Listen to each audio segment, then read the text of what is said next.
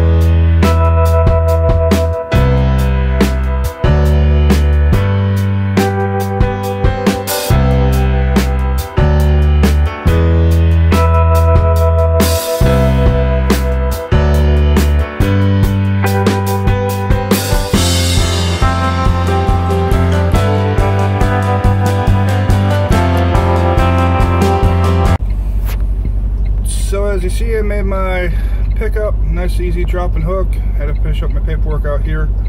Um, now we got 92 miles for my delivery. We're gonna stop. I gotta top off the reefer fuel um, and get some food just in case um, they can't take me delivery early until my appointment's not till 3 a.m. We're gonna be there in two hours. So other than that, as I said, if I get able to get unloaded, might get another load hopefully get another load. Um, if not, we'll be working on some YouTube stuff. So sit back and enjoy the ride.